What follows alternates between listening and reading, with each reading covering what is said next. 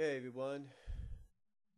It's about 1:55 in the morning going on very early Monday morning, late Sunday night, very late Sunday night if you want to look at it like that. And honestly folks, I want to talk about something a lot of people have been talking about lately in just the past few hours. Now, as a lot of you probably know, I don't order the pay-per-views, all the pay-per-views of any wrestling event all the time. No. Instead, um, I download most of them, a majority of them, and watch them later. You know, I download them, uh, burn them onto a DVD plus R, and then record them to DVD if I want to. Now,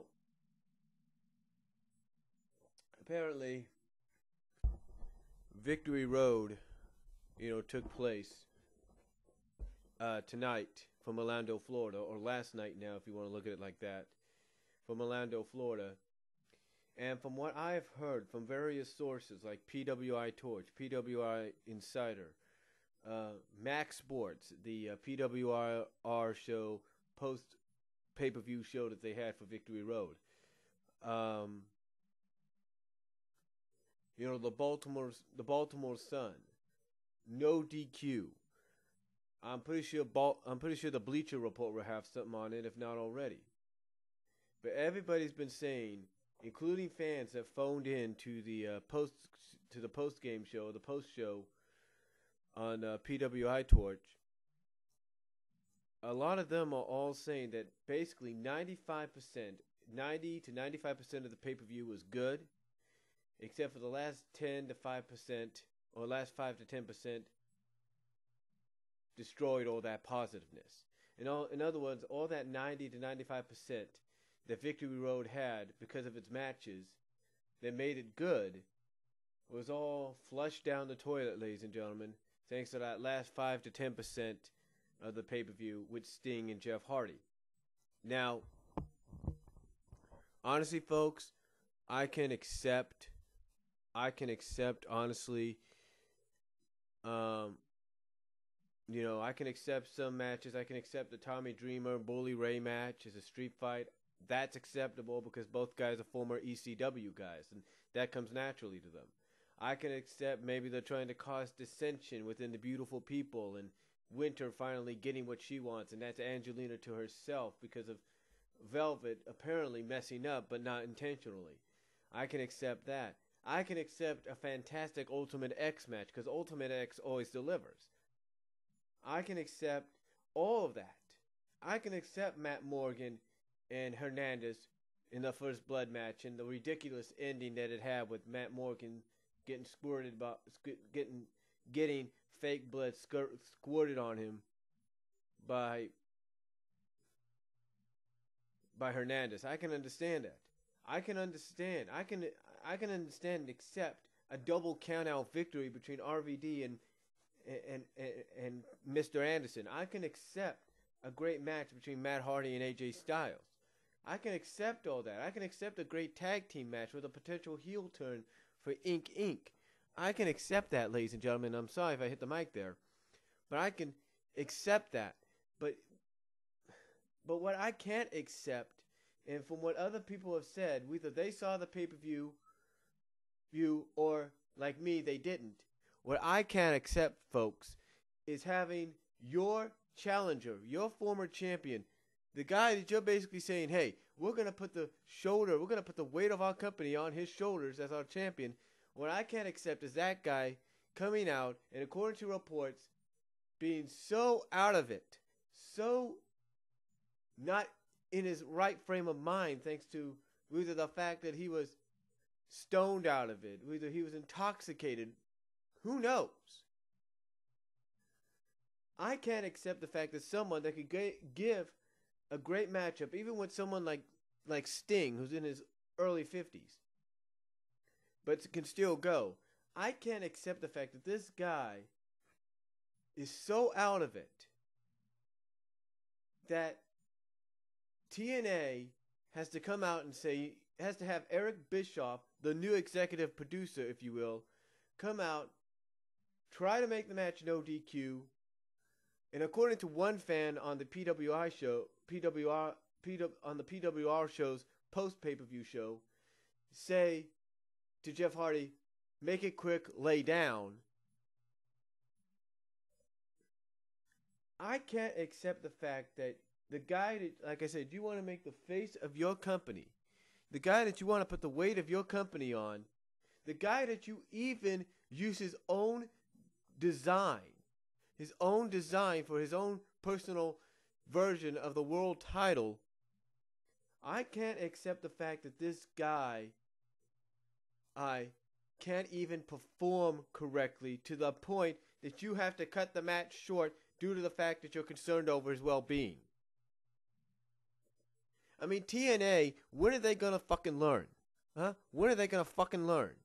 I mean, I may have not watched the pay per view, but from what I've heard from people, from what I've read, I mean, Damian Nelson and David Hero, the guys that host the P, uh, the PWR show television version of it, the television internet YouTube version of it, even they were pissed off. They were pissed off at this, and and you know, and you know, Damian, Damian does bring up a good point, and I think everybody can agree with this. You can't blame the other talent out there. Hell, you can't even blame Sting. I mean, if Sting was supposed to drop the title tonight to Jeff Hardy, there's no doubt Sting would have done it because it would have been good for business. But here's the thing if you have an intoxicated Jeff Hardy, are you going to drop the belt to him then? Hell no. You're not going to drop the belt to him. I, I mean, I mean, the last time this happened was in December at the Final Resolution pay per view. And apparently there was concern back then, but apparently he was able to convince people, hey, I'm still good. I'm ready to go. I can compete. Oh, yeah, he was able to compete that night. And maybe he was a little high, maybe a little out of it. But apparently tonight he was a lot more out of it. He was a lot more stoned. He was a lot more high or something. I mean, there's even reports coming in, folks, that if that's not the case, there's also reports going coming in that Jeff Hardy, after the pay per view, was arrested. That's that security escorting him out of the ring wasn't just escorting him out of the ring into the back because it was an act, ladies and gentlemen. No, they were escorting him to the back and to possibly, from what from what one fan has said that PWI insiders reporting, possibly to a police escort to jail. We don't know that. But apparently, when is TNA to wake up and realize that they're fucking up, folks? When are they to realize that? I mean, I don't even know if they ever will. You know why I don't think they ever will? I'll tell you why. Excuse me for a second.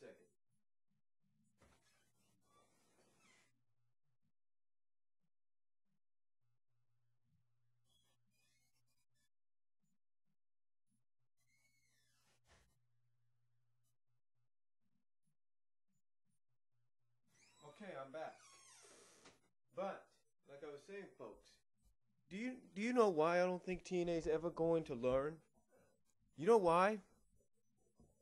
Because TNA is too fucking concerned with the trying to compete with the WWE. You know, Eric Bischoff, Dixie Carter, Hulk Hogan, and I like and I love Hulk Hogan. I'm a fan. I'm a huge Hulkamaniac. Always have been. But despite what those three say, and despite what any other officials, Vince, anybody else, any other officials in TNA will say to you, despite what Vince Russo will say, despite what Jeff Jarrett will say, the truth is this, folks. TNA, they can have people in the higher up echelon, if you will, of the headquarters of the company say, oh, we're not competing with WWE. T- WWE's a monster. There's no way we can compete with them, blah, blah, blah. Bullshit, folks. Bullshit. TNA, despite the fact that they have impact on Thursday nights, they are trying to compete with WWE in every way. They are. And you know, if what happened tonight was nothing more than a work shoot, and the reason they did it is to get people talking about them, then guess what? They obviously did their job because people are talking. And you know, it's kind of ironic that they have something like this happen when you think about it, just three weeks before the WWE has WrestleMania. Think of it that way, folks. I mean, if you think about it, yeah, there's a lot of reasonings as to what happened. There's a lot of reasoning. I mean, the obvious reason people are talking about, and obviously all these uh, wrestling news sites are talking about, probably could be the obvious reason. Jeff Hardy was obviously stoned out of his mind, obviously high on something. We don't know. I mean, I'm looking on my app right now. And And, and the truth is, folks, TNA could do such a great job with pay per views if they book it right. And if it wasn't for that last, and like I said, if it wasn't for that last 5 to 10% of this pay per view, this would have probably been a good pay It probably would have been. I mean, some people will say, well, the only thing holding, the only thing holding it down was the fact that you know, we had Jeff Jarrett and Karen Jarrett on the honeymoon slash family vacation at Universal Studios. And you know what? Here's the thing, folks. Here's the thing. I would have accepted that. I could accept that. I could accept that.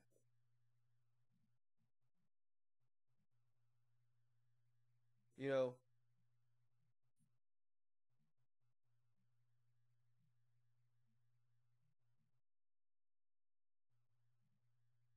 Like I said, I could accept that.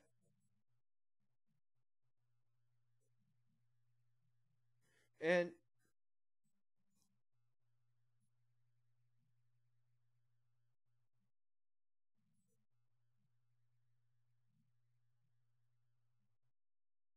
you know, like I said, I can accept that.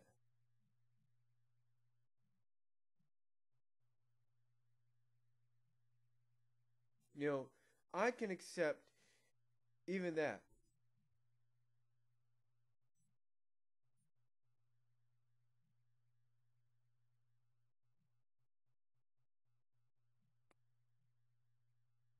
But, you know, come on. You know, come on. Honestly, honestly, if you want to make a good pay-per-view work, then what you need to do is you need to check the wellness of your play of your pe- of the people that are going to work that pay-per-view, okay?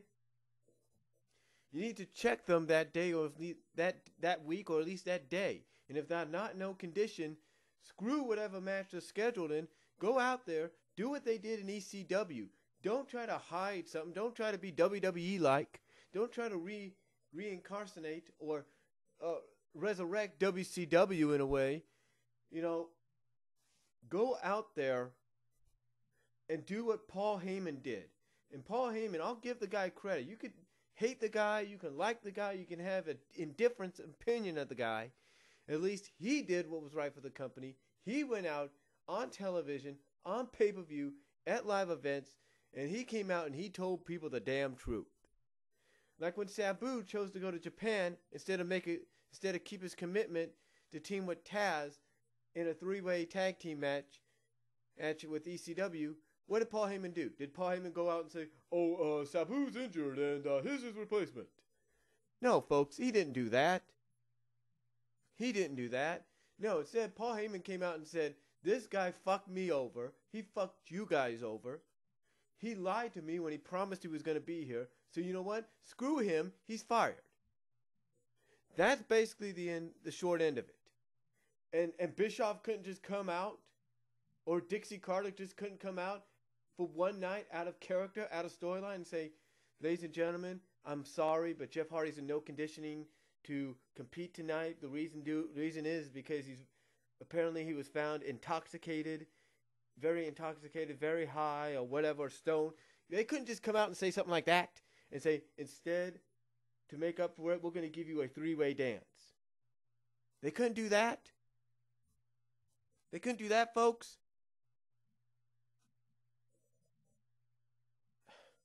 I mean, I love TNA. I do. I've been a TNA fan since they began. In fact, there's a tape I left out in Kansas, and I got to get all, and someday I got to get all my VHS tapes out here. And on one of these VHS tapes,